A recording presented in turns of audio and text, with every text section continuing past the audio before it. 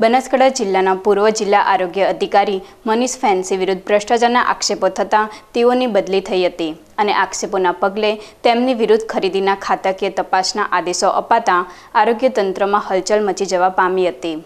બનાસકાંઠાના એક એડવોકેટ સુરેશભાઈ પટેલે તારીખ એકવીસ નવ બે હજાર વીસના રોજ મનીષ ફેન્સી વિરુદ્ધ ભ્રષ્ટાચારની લેખિત ફરિયાદ કરી હતી. જ્યારે કે કોરોનાના સમયે પણ કરોડો રૂપિયાની ખરીદીમાં પણ ભ્રષ્ટાચારની બૂમ ઉઠવા પામી હતી. જેને લઈને તાત્કાલિક અસરથી તેમની બદલી કરવામાં આવી હતી અને જિલ્લા આરોગ્ય અધિકારી તરીકે નવીન અધિકારી મૂકવામાં આવ્યા હતા. જ્યારે તારીખ પંદર છ બે હજાર એકવીસના રોજ સીએમ ગોહિલને ખાતાકીય તપાસ અધિકારી તરીકે મૂકવામાં આવ્યા હતા. તે બાબતને લઈ સમગ્ર આરોગ્ય તંત્રએ મૌન ધારણ કર્યું છે. જો કે જિલ્લા આરોગ્ય અધિકારી મનીષ ફેન્સી વિરુદ્ધ વિવિધ ચોત્રીસ મુદ્દાઓને લઈને જે તે સમયની ખરીદીની માહિતી અંગેના ખાતાકીય તપાસના આદેશ આપ્યા હોવાનું વહીવટી શાખામાંથી જાણવા મળ્યું હતું. જે માહિતી આગામી ચાર દિવસમાં પૂરી પાડવા માટે તંત્રએ કામગીરી હાથ ધરી હોવાનું વહીવટી અધિકારીએ જણાવ્યું હતું.